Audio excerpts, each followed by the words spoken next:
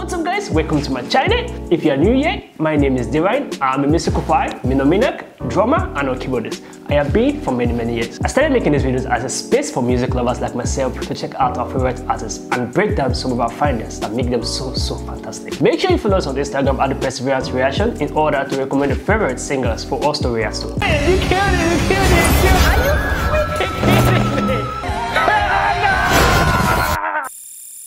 What's up YouTube? Hope you guys are Feeling good. Today guys, we're back giving to new video guys and again my beautiful guys. My name is David and welcome to the Perseverance. So they're going to be reacting to the Prophet on Judgment Day. Hmm, the Prophet Judgment Day. What's going to happen? So this is going to be my first time checking this out. This was actually recommended for us to check out. You know how I do it? So talk less where there will react more. Let's get into the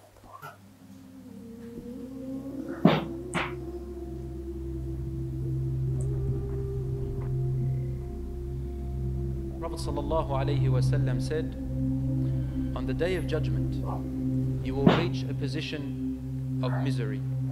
People will be miserable. People will, some of them will be saddened. People would have given up hope in some ways.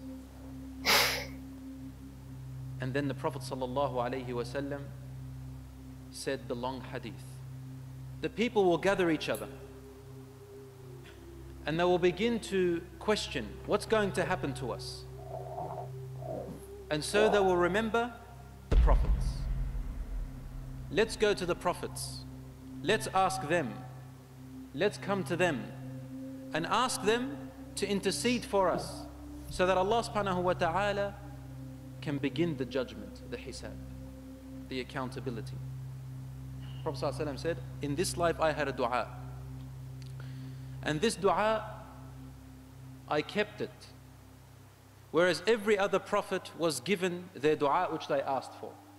As for my dua, which I kept specific for me, was that, Oh Allah, save my ummah on the day of judgment. And Allah subhanahu wa ta'ala says in the Quran, Behold, your Lord may raise you a beautiful raising on the day of judgment. What is that? It is the raising of the intercession. And this is the way it will go. He said, The people will go to Adam alayhi salam. And they will say to him, Ya Adam, Anta Abu al-Bashar. You are the father of all mankind. You are our father. Allah created you with his hands. Please intercede for us on this day. And then Adam alayhi salam will say, Ilaykum anni, ilaykum anni. Go away from me. Please go away from me. Inni akhafu mithla alladhi takhafu. I fear the same thing you are fearing.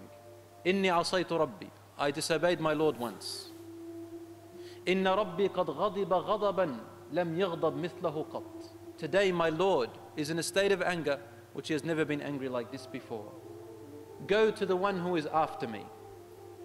So we go to Nuh alayhi salam. And we say, Ya Nuh, Allah subhanahu wa ta'ala created you. You are the second father No, that of is mankind. Yeah. Intercede for us for Allah subhanahu wa ta'ala to begin the judgment. And then Nuh alayhi salam will say the same thing.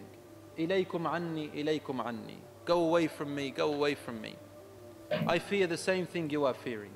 I made my dua upon my people. My Lord is angry in a state where he has never been angry like this before. Go to the one after me. Go to the one after me. So then we go to the next prophets till we reach Ibrahim alayhi salam. And Ibrahim alayhi salam on that day Abraham. Yeah. would also respond in the same way. Go to the one after me. We keep going from prophet to prophet. This is all the Muslims and all the disbelievers, everyone. So then we go finally to Musa alayhi salam. And Musa alayhi salam responds in the same way. He said, then we go to Isa alayhi salam. And Jesus Christ, peace be upon him, responds in the same way. And he adds, The people took me as a God. Therefore, today I am not qualified to face my Lord. How am I supposed to face him? I've got to answer to this. I've got something I have to answer to. The people took me as a God. Go to the one after me. I am not qualified for it. Lastu laha. Finally, we reached Muhammad sallallahu alayhi wasallam. He said, This is what I have been favored with on that day. That I will be given an intercession for you people. And the only intercession I'll be given for is for my ummah, for only for my nation who followed me. As for the rest of the nations, they will have to go behind their prophets, behind their imams. And everyone else who was disbeliever will go behind whoever they used to follow. So whoever their authority was, the angels will say, go to whoever you used to follow. Al-Rasul says, when the people come to me and they say, please, ishfa' lana, intercede for us for the judgment to begin, I will call out on that day and say, أنا لها, أنا لها. He says, ثم أسجد لربي سجدة. I prostrate to my Lord such a prostration, so prolonged. Only Allah knows how long, ما شاء Allah and asjud, as long as Allah wills for me to make sujood. And I call out to Allah in such a dua that I've never called out before in my life. I've never used these words in praising Him and calling out to Him in my sujood. And then my ummah who followed me, they will prostrate behind me. A caller will call out, prostrate down to your Lord. Allah says in the Quran, on that day, a saq will be revealed. What is this saq? What is the true nature of this saq? Allah only knows. In Muslim, the book of Muslim, the Prophet ﷺ says, My Lord reveals his saq. Only Allah knows the nature of this saq. لَيْسَ كَمِثْلِهِ شَيْء وَهُوَ السَّمِيعُ الْعَلِيمُ الْبَصِيرُ There is nothing like unto him, and he hears all things and sees all things. So we will not dwell into the description of this reality called as-saq. The Muslims, the, the believers will see it, and then they will be called to prostrate. So then, bi'idhnillah, we prostrate. Except for the hypocrites. Allah says, فَلَا يَسْتَطِيعُونَ They will not be able to prostrate. And the disbelievers will not be able to prostrate. As for the Prophet ﷺ and his ummah who are still prostrating, the hadith says, فِي ذَلِكَ الْيَوْمِ يَنزِلُ اللَّهِ On that day, Allah will descend. How will He descend? What does descending mean? Only Allah knows the nature of this descension. And Allah says in the Quran, on that day, your Lord and his angels will come. The angels in line like soldiers. And Allah's throne will be brought. What does this throne look like? Only Allah knows. But it will be brought, and there will be eight angels carrying Allah's throne. These angels, the description came in the hadith that they are so humongous that it will take 300 years' journey for a person to reach between the shoulder and the earlobe. They look in that nature. What the earlobe looks like, Allah knows. What the shoulder looks like, Allah knows. But the point is, these angels are humongous. Eight of them carrying Allah's throne. The Prophet ﷺ said, the sky, the worldly sky, this universe that we see, compared to the second sky, because there are seven skies Allah created, is like a ring thrown into the desert. And the second, compared to the third, is like a ring thrown into the desert And the third, compared to the th fourth, is like a ring thrown into a desert. And so on until you reach the seventh. And the seventh, compared to the arsh, to the throne of Allah subhanahu wa ta'ala, is like a drop, in one hadith, like a drop in the ocean. وَسِعَ كُرْسِيُّهُ السَّمَاوَاتِ وَالْأَرْضِ And there is Allah's kursi, which is above the throne. And the kursi encompasses the whole skies and the earth. It's even larger than the arsh, than the throne.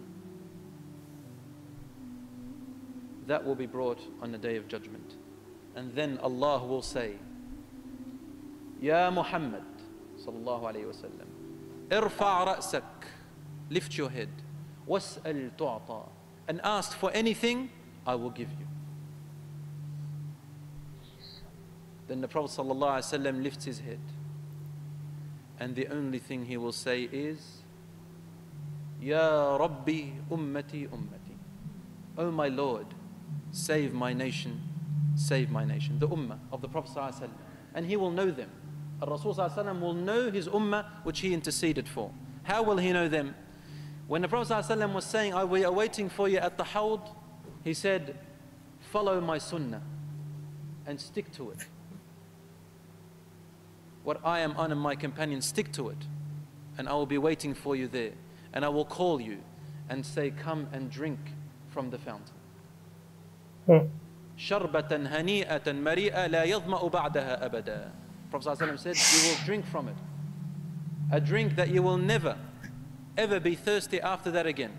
Thirst as in the quenching of thirst which brings you to fatigue. That's the thirst we're talking about.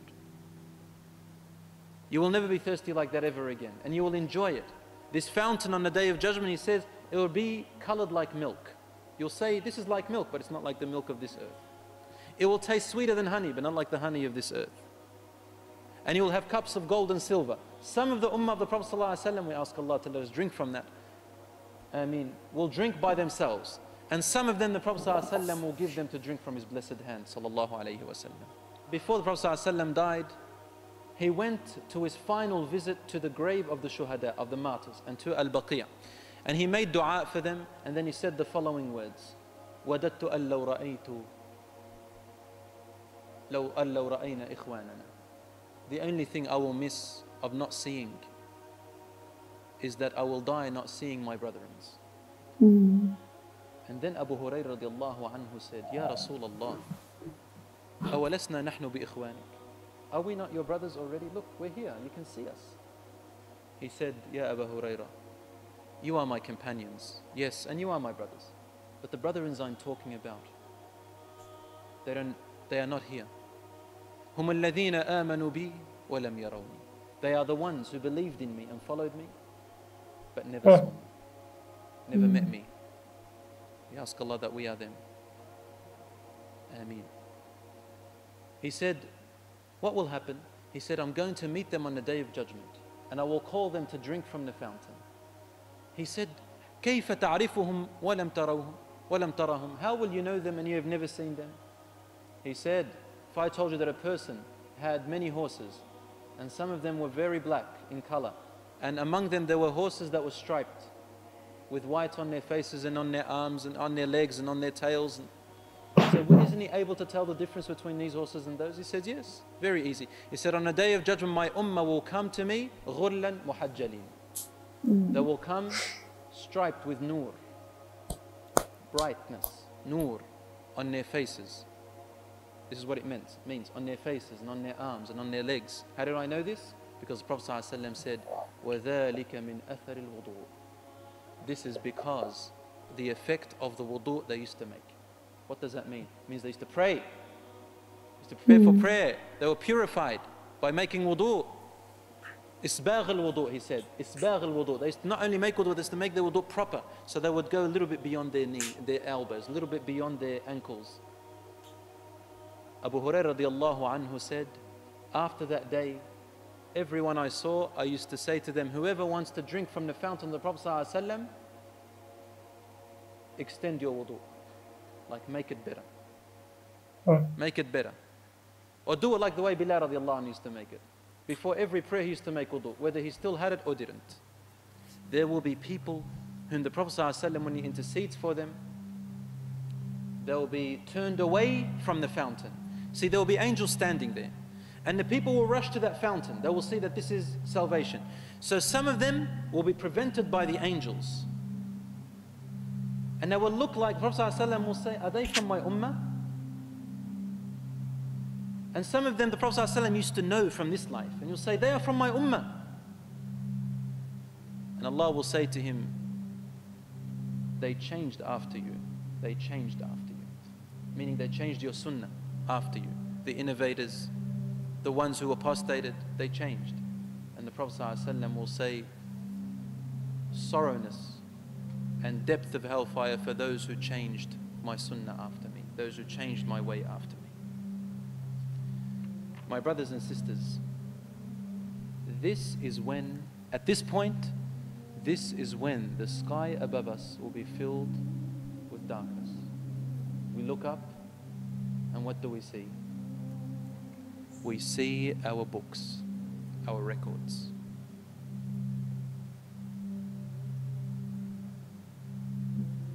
Hmm.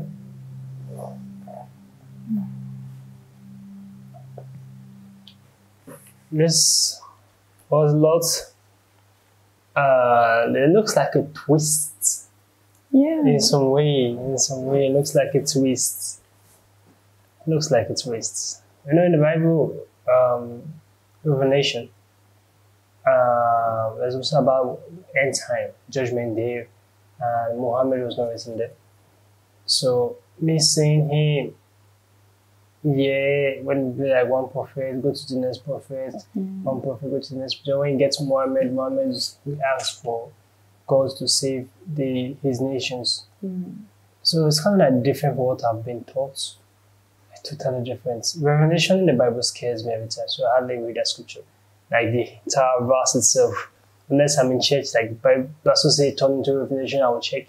But the entire scripture, the Revelation as a whole, scares me a lot because what is being written there, the bonfire, the torments, the this, that, the horses, like a lot of things. So hearing them describing it in this manner, it's it's totally different from what I was being taught. And uh, but I know some things over here do not relate. Most things over here do not relate. I was not taught of this and especially the one you will never be thirsty again, drink all this water. I think it was said by Jesus. So it's kind of like different from me why I was hearing this from here. Um, I got go, go check my revelation again, go through, go read through it again. Um, that scripture itself, Revelation, I've read from Genesis going, going, going. Leviticus, Psalm, Isaiah, Proverbs. Matthew, Proverbs, John, I've read different scriptures. But Revelation itself, the judgment, the end time, guys, that part is scares Terrifies every time. me. It's very, very terrifying, guys. But I'm definitely go check it, go check it out and read because I need to know more. I need to learn, and I can't just avoid that scripture because I need to because now I have more things to say about this end time mm-hmm. because I really don't read Revelation, so I don't really have much things. But I know some things that was being taught in church do not correspond with this for me. True. So I'm going to go check it out, go read it out, and clarify it myself. Maybe I'll get back to you guys on my conversation. What do you think? This was beautiful. Watching him talk about the end time, even though it's different from our religion, you see, you see them talking and explaining about how the end times will be. And I feel we should all be appreciative for who we are right now. We should thank God for bringing us here and obey His words, obey His commandments, follow His path, the path He has given unto us, so that when the end time comes, we won't be running helter skelter looking for a way to hide or trying to beg God for forgiveness at that ending point. I think we should try to live holy now. We have Yeah. time. We have we have the time right now. The only time that you can change is right here on earth. That's true. If you're done with this this judgment, and there's nothing you can do about it. They'll judge you based on what you you have done on earth. This is a test. Just like going to school and you don't read throughout uh, let me see, your test is on the 14th week of your school. You don't read throughout the first to the 14th week. On the 14th week, what you have done, despite the fact you read absolutely nothing, you're going to present it there. If it's empty, it will be empty right there and you get a zero. True. So if you have done absolutely nothing on earth, if you get there on judgment day, you'll be judged based on what you've done on earth. And if you've done absolutely nothing, there's still judgment for you. And hell is not anywhere that any of us should be at all. Just pray that God give us the strength and help us to be able to overcome temptations and the worldly way of life, to be able to focus more on Him and know the true meaning of life and focus on His way, His path that He has blessed for us. Just pray God guide us. That's made I'm lawyer first time watching this also. Hearing about the judgment day. How was your reaction? Give us a thumbs up. Share this with us. Minas can comment down below in the comment section what you think about this video as a whole entirely. You know how it is guys. See you guys in the next video. Make sure you stay safe. I just want a bag, like an old lady. I'm backwood smoking, I don't own papers, pass that 808. That don't, don't shaker. Oh, bitch, you know I'm grinding like a pro skater. Baby mama bugging, I'm so quick to hit ignore. Buku bitches in my bed, I got scales all